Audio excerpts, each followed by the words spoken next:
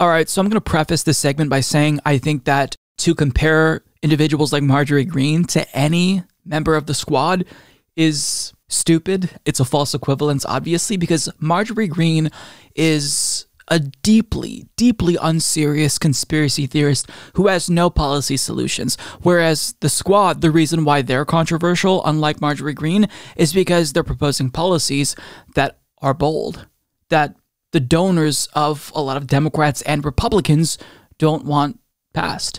So that's why these folks are different, but they still get compared because they're basically seen by the mainstream media as the far left and the far right of both parties. And that may technically be true from the standpoint of like the US Overton window.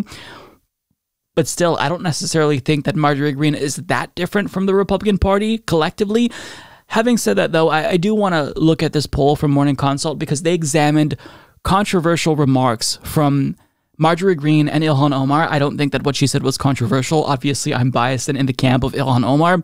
But still, this poll, even if I don't like the comparison, it was really interesting because it highlights how tribalistic the Republican Party's base is. So the title basically sums it all up. Voters are slightly more likely to see anti Semitism in Ilhan Omar's latest comments if they know she made them. So here's the quick summary by Eli Yokley. The share of GOP voters who see anti Semitism in Representative Ilhan Omar's remarks comparing U.S. Israeli Afghani actions to those taken by Hamas and the Taliban increases 11 percentage points when the Minneapolis Democrats' name is attached. 11 percentage points.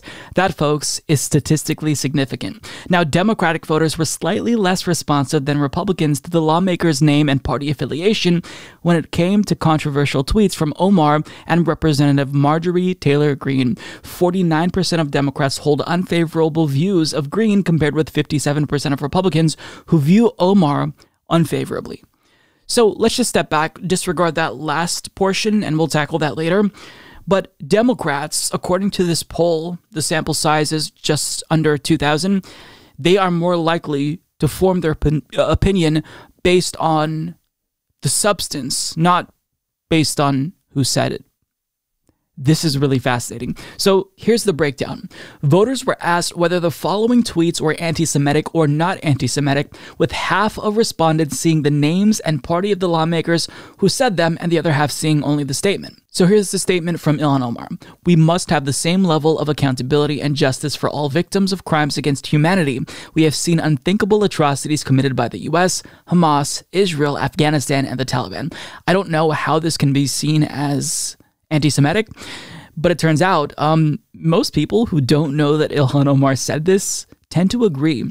So the voters who did not know who said this, 41% said it was not anti Semitic. That's a plurality. 27% said they don't know. And only 31% said that they think that that statement was anti Semitic.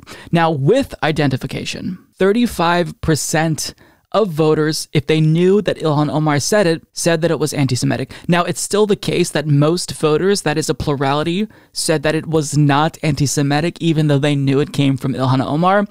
But still, that is uh, very interesting. Now, when you base it on party affiliation, so when it comes to Democrats without identification, 31% said that that comment was anti Semitic, and 42% said it was not anti Semitic.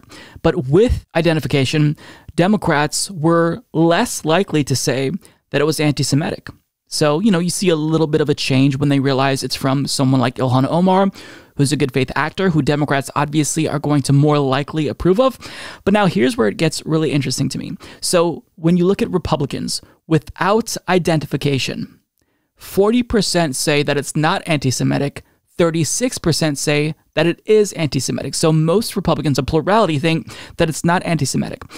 However, when you would tell people that it's Ilhan Omar, 47% now say that it is indeed anti Semitic. In other words, when you tell Republicans that Ilhan Omar, someone that they don't like, made this comment, then they think, okay, yeah, that's definitely bad. Okay, now let's look at Marjorie Greene.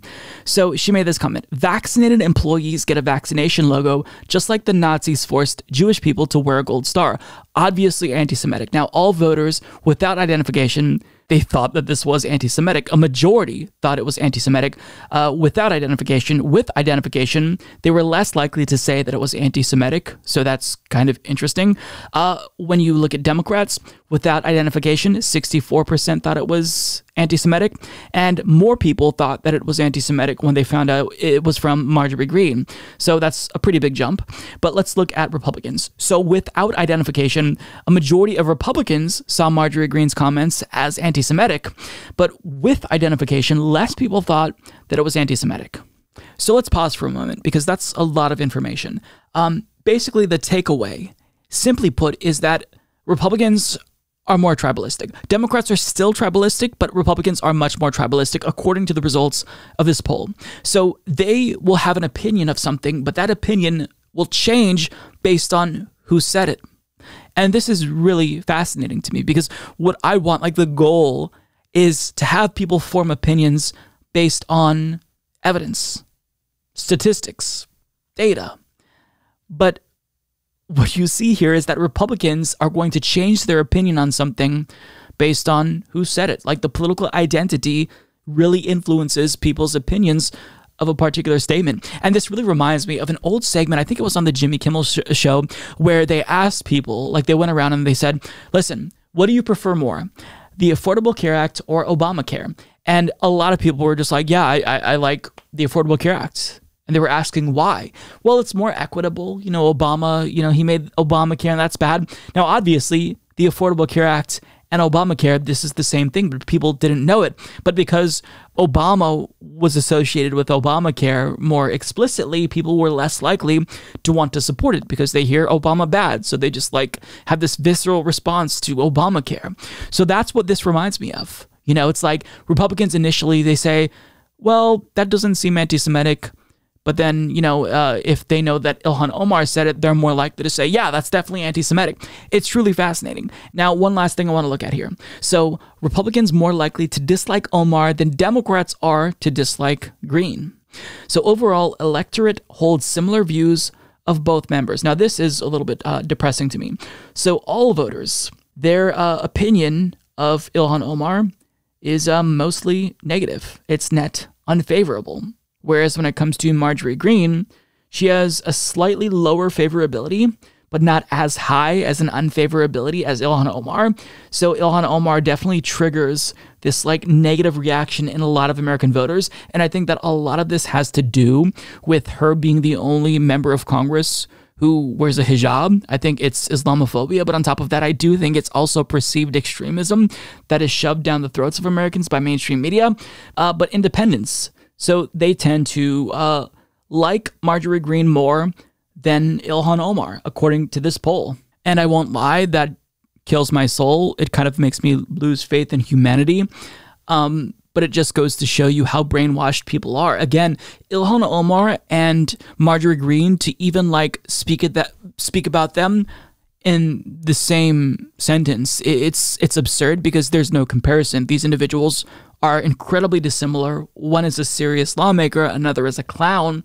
But having said that, though, perception is reality. And when you are brainwashed, when you hear constantly how extreme these individuals are, even if you don't necessarily watch Fox News, if you're not high off the Fox News Kool Aid, I mean, still, you're going to hear about the extremism of Ilhan Omar. And so, you know, you might not hear it directly, but you might hear it secondhand. You know, someone who does watch Fox News might say, "Oh, I don't like the squad. They're they're super extreme." So I mean that that stuff works. So um, yeah, very interesting uh, to say the least.